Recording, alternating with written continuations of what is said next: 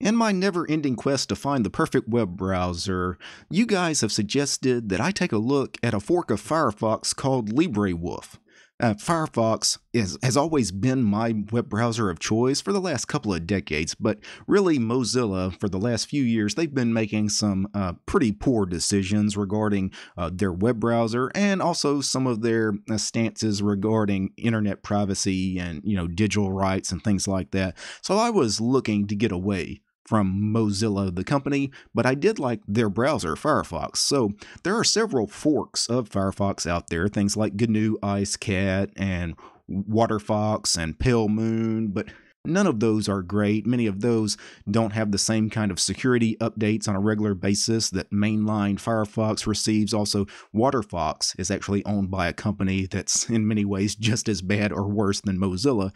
So I was really looking for a community project, and LibreWolf really seems like the browser that I want to use because it is and really just an exact clone of Firefox. I mean, it's it's a straight up fork of Firefox. It resembles Firefox. If I didn't tell you this was the LibreWolf browser, just looking at it, it it looks 100% exactly like Firefox.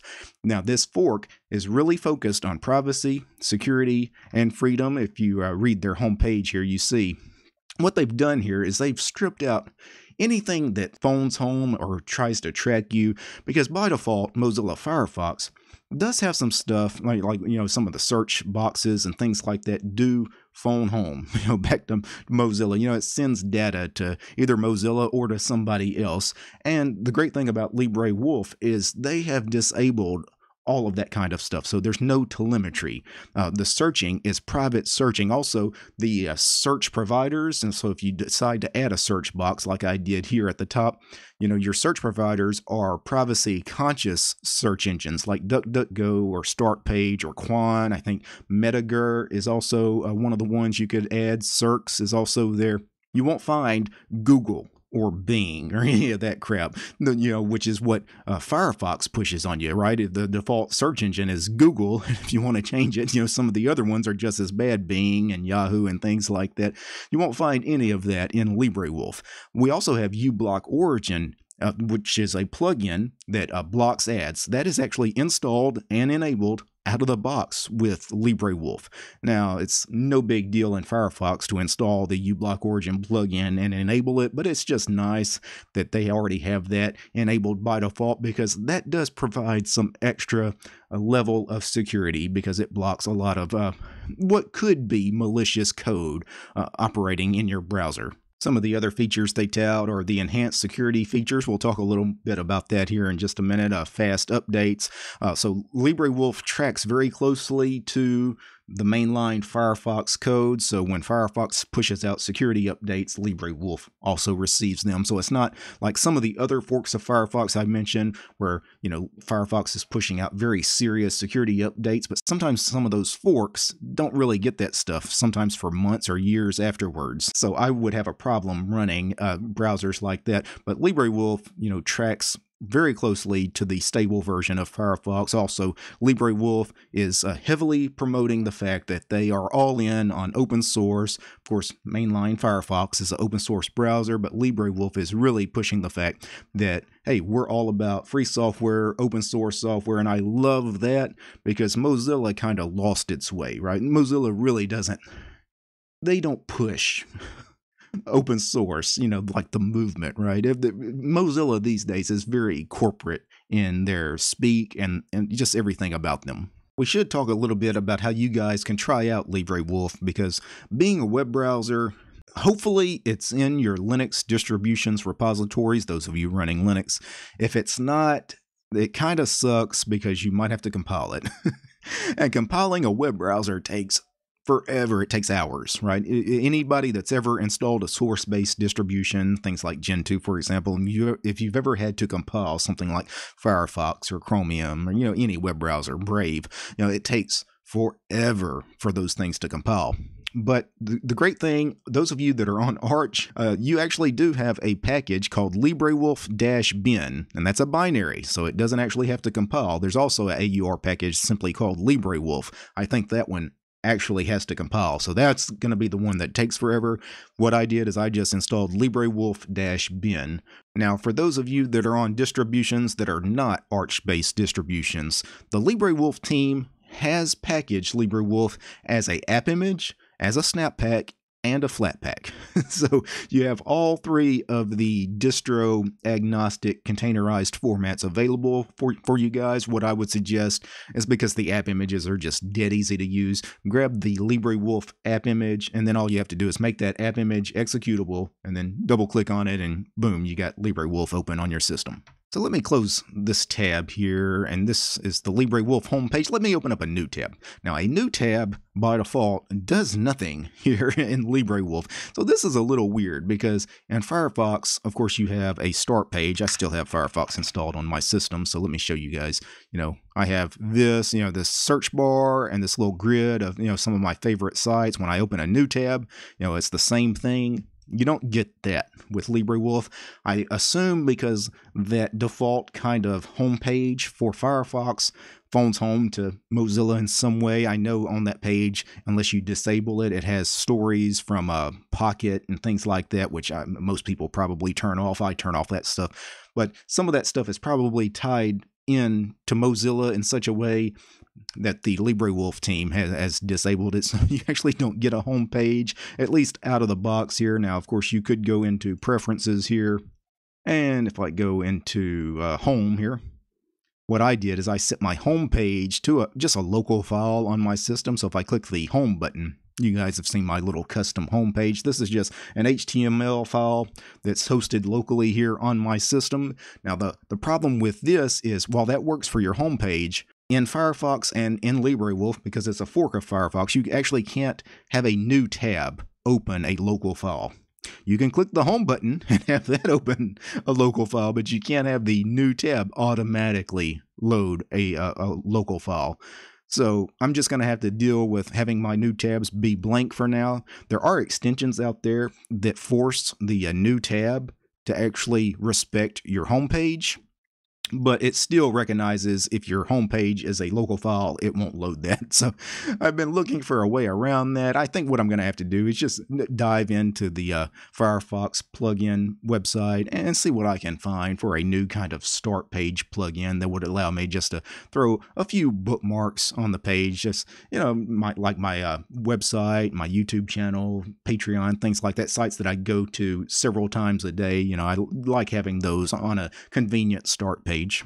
Let me close that tab and that home page. Let's get back into here. Let's talk about uh, some of what is in the preferences because most of this kind of looks like your preferences in Firefox. So let's talk about the things that have changed. Well, the first thing is Firefox home content. So that would be the default Firefox home page. You know, that would have the search box and your grid of uh, bookmarks that you put and the, you know, the pocket stories and all of that. And even though uh, you can you check some of this on and off, it actually doesn't load the home page anyway. So I don't know why that's still in the preferences. Maybe it's a, a bug they're trying to fix. Maybe this homepage thing in LibreWolf used to work. Maybe it's just recently that it stopped working. I don't know. But just know that uh, right now, none of this is going to work. If you go into the uh, search settings here with the search boxes, by default, DuckDuckGo is the default search engine. But as, as I mentioned, there are several privacy respecting search engines that you can choose. If you don't want to use DuckDuckGo, which honestly, DuckDuckGo uh, is not my favorite search engine, you know, you also have Searx, StartPage, uh, Jive, Qwant, Metager, uh, Invidious, which is a like a YouTube alternative site, and Wikipedia is also here as well if you wanted to use those. Under the privacy and security tab, I really haven't played with this stuff, but just know that LibreWolf prides itself on being a hardened version of Firefox. They've taken the trouble to do a, some extensive modifications to the browser. A lot of the same stuff that you guys would probably do. You'd go in here and, and take on and off a lot of stuff. They've already, uh, anything that should be enabled for privacy and security, they've already got it enabled. Also, those of you that like to play with your uh, user.js, you know, uh, LibreWolf tracks a couple of popular uh, user.js uh, GitLab repositories out there, and, and, they already have all of those settings um, configured. So if you go to, what is it? Is it about colon config? I believe that's it. Yeah. And you click show all. Now this is typically hidden away from the users. And you know, it, these are the kind of settings that normal users typically would set. But if you type about colon config in the URL bar, you get a whole bunch of other stuff you could edit. Most users don't need to be playing around in this. And LibreWolf, these guys have actually taken the trouble to go in here and anything that could have been tracking you at all or anything that they consider kind of dangerous, they have already disabled it. You know, they set things like a you know, this browser content blocking reject trackers. They've already set that to false. They've locked it, so no one can ever change it. So they've got a lot of stuff already set and locked in such a way that it can never be changed. Now, I've been playing around with LibreWolf for a couple of days. I actually have not changed anything in the about config, and I don't think I will. I think the chances are they know more about privacy and security settings than me. Now let's talk about uh, extensions and themes. uBlock Origin was already installed and enabled by default. I installed a couple of other things that I thought would be useful, uh, things I already had in Firefox. Most of you guys know about HTTPS everywhere. That's something you probably want to install and enable Privacy Badger's, another good plugin. Uh, TubeBuddy is for YouTube creators. That's because uh, obviously I have a YouTube channel, so I use that. Uh, other than that, I will say searching for add-ons from Mozilla.org, uh, again, because of blocking tracking and stuff like that, for some reason this doesn't work. So if I wanted to search for, I don't know, how about start page? you know, nothing happens. It opens a new tab, but nothing happens. I think there's just a problem uh, anything that involves phoning home to Mozilla in any way, you're just not going to, to be able to do. But you, you see it searches addons.mozilla.org. Well, just type addons.mozilla.org in the URL bar and you actually go to the add-on sites now you know i could search for a start page kind of plugin and i could just pick one. Uh, it really doesn't matter. This is just for demonstration purposes. I'll pick speed dial here and it says add to firefox. I'm going to click on it and it adds it just fine here in librewolf eh, hit ok and there it is. You know this i, I guess it's a uh, home page kind of it actually looks pretty good. I, I, may play with that. I don't know. It actually looks a little garish and gaudy, a little, little more over the top than something I would use. But that's how you handle that. So just know that the uh, the search bar here is broken, so you actually do need to just type addons.mozilla.org in the URL bar to search for your add-ons. Uh, I'm going to go ahead and remove that plugin I installed. Now, for the most part, I found that LibreWolf, from just playing with it for a couple of days, it looks and functions just like Firefox. So I haven't done a lot of testing as far as uh, playing media. I do know YouTube works just fine. If I wanted to start Today one of my YouTube videos video, and I could play it in know. 1080, 60. Today I wanted to make a short it, video it looks you guys fine. the video is fine. Audio is fine. Uh, let me try LBRY because I, I haven't tried LBRY on uh, LibreWolf yet, so let me go to my home page and click on my LBRY page. And let's, again, we'll just start a video playing. It may take a second for the video to Today load in LBRY. To short video plays just fine. Now, I haven't tried any kind of uh, DRM restricted content because LibreWolf is so focused on privacy and security. I don't know how things like Netflix or Hulu are going to play in LibreWolf, I would imagine, you know, with Netflix typically uh, on most browsers uh, in Linux, you're going to have to uh, fight with some Silverlight uh, plugins and things like that to make Netflix work. I would assume that's going to be the case in LibreWolf as well. Those of you that have been using LibreWolf for a while and are using uh, things like Netflix and Hulu, uh, let us all know in the comments down below if that stuff worked for you out of the box and if it didn't, what you needed to install to get that working. For me, I, I, think LibreWolf has everything I needed. It has everything that was in Firefox. The only thing that kind of annoys me is the fact that my new tabs are always a blank page. I've got to find uh, some way to solve that. I, I, just wish I had the default uh, Firefox homepage, you know, the out of the box it had the search bar and you had your little bookmarks and a grid. You know, that was kind of a nice feature. I'm sure I could find something like that. By the way, your bookmarks are very easily imported from Firefox over to LibreWolf, so no problem there. You're not going to lose any of your bookmarks moving from Firefox to LibreWolf. So if you guys like a Firefox browser, you know, if you like Firefox, the browser, but not Mozilla, the company, I strongly suggest that you guys take a look at LibreWolf. I think you'll be impressed by this browser. I know in just a couple of days that I've spent with it, I'm very impressed with it. Now, before I go, I need to thank a few special people. I need to thank Absy, Devin, Fran, Gabe, Corbinian, Mitchell, Akami, Arch5530, Chris, Chuck, David, the other David, Donnie, Dylan, Gregory, Lewis, Paul, PickDM, Scott, Wes, and Willie. They are the producers of the show. They are my highest tiered patrons over on Patreon. Without these guys, this quick look at the LibreWolf web browser would not have been possible.